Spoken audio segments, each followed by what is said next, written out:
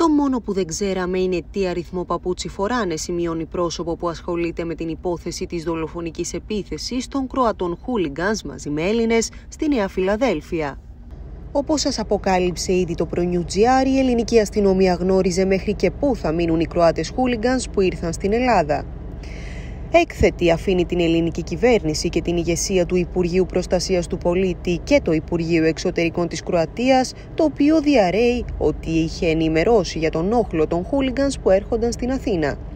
Συγκεκριμένα δημοσιεύματα στα κροατικά μέσα μετά τη δολοφονία του Μιχάλη Κατσούρη στη Νέα Φιλαδέλφια κάνουν λόγο για ταραχές που προκάλεσαν Κροάτες χούλιγκαν και απίστευτες αποτυχίες της Αθηναϊκής αστυνομίας. Κροατική ιστοσελίδα, επικαλούμενη πηγή του Υπουργείου Εξωτερικών της Κροατίας, γράφει ότι η αστυνομία μας έστειλε γέρος όλα τα στοιχεία μέσω της Europol και της Interpol, σχετικά με τις πληροφορίες που ήταν διαθέσιμες για την επιχείρηση των χούλιγκαν που βρίσκονταν στα σύνορα.